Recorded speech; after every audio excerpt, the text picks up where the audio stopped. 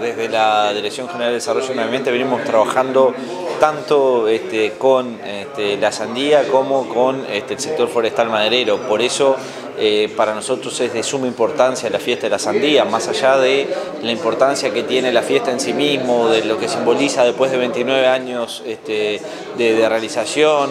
de todo lo que, lo que engloba la parte de recreación, los shows y que es importante que una ciudad como Tranqueras eh, tenga una fiesta de esta magnitud. Eh, también estamos, este, por lo que decía anteriormente, eh, muy, muy interesados en que en esta, en esta fiesta también, en el marco de esta fiesta también tengamos la oportunidad de discutir temas importantes vinculados a, a los sectores que, que, ella quiere este, homenajear, ya sea este, la sandía como la forestación. En esta oportunidad, en la vigésima novena Fiesta de la Sandía, estamos organizando el foro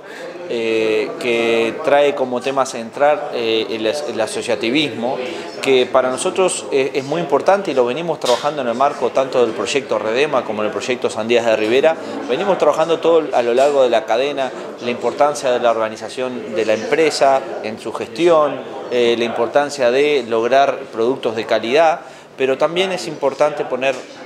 arriba en la mesa y discutir este, conscientemente la importancia del asociativismo, que muchas veces se genera cierto estigma eh, en lo que tiene que ver con ese trabajo, con esa forma de trabajo. Por lo, por lo cual nosotros consideramos que es muy, muy importante eh, dar este debate. Eh, teniendo en cuenta la característica de los productores, tanto de, madera como, como, de sandía, tiene una característica que son pequeños productores, por lo cual consideramos que trabajar asociativamente los fortalece frente a, eh, frente a negociaciones, ya sea desde el punto de vista comerciales o con instituciones eh, del Estado que este, pueden estar impartiendo políticas públicas y ellos, y, ellos estar, al ellos estar organizados pueden este, tener una incidencia positiva en lo que es esa, esa formación de política pública. Entonces vaya si es importante que podamos este, estar todos, eh, Estado, eh, productores, eh,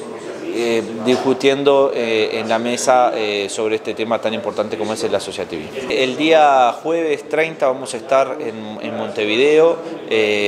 también haciendo un lanzamiento. Acá lo que es importante destacar es esa parcería que hicimos con este, el Mercado Modelo, con, la Unidad Agroalimentaria de Montevideo, que es el principal centro comercial de, frutas y verduras del país. Y, bueno, estamos en, ese trabajo de lo que es la difusión de la sandía, de, de lo producido acá en el departamento, la producción hortícola del departamento de Rivera, eh, José Saavedra, el presidente del Mercado Modelo,